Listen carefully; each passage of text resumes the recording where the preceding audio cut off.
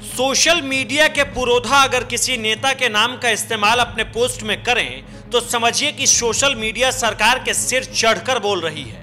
और सरकारी बातों का सिलसिला प्रेस कॉन्फ्रेंस से आगे बढ़ पोस्ट और लाइक तक जा पहुँचा है।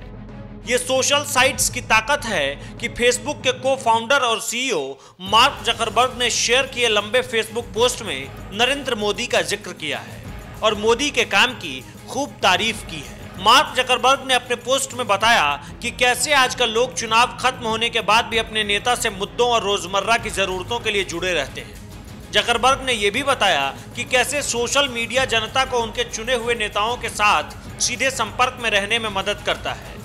इससे आगे लिखते हुए मार्क जकरबर्ग ने नरेंद्र मोदी का उदाहरण देते हुए बताया कि पीएम अपने मंत्रियों से फेसबुक पर जानकारी साझा करने की सलाह देते हैं ताकि इससे लोगों को सीधे फीडबैक मिल सके।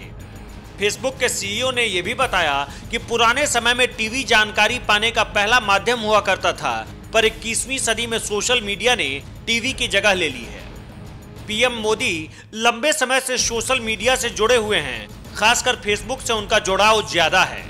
यहाँ तक कि मोदी ने अपने मंत्रियों को भी सोशल साइट्स के इस्तेमाल के लिए कहा था। और आज जिस प्लेटफॉर्म का मोदी इस्तेमाल कर रहे हैं, उसे बनाने वाला अगर ज़िक्र करे तो ये समझ लीजिए कि उपयोग सोशल साइट्स का सरकार सही दिशा में कर रही है और मोदी का पोस्ट अब जखरबर्ग तक के पोस्ट का हिस्सा है। एनएमएफ न्यूज़ की रिपोर्ट।